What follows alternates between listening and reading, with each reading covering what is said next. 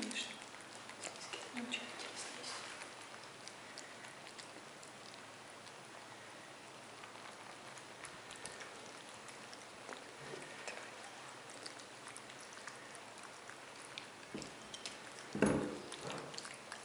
Я только вытряла, пожалуйста.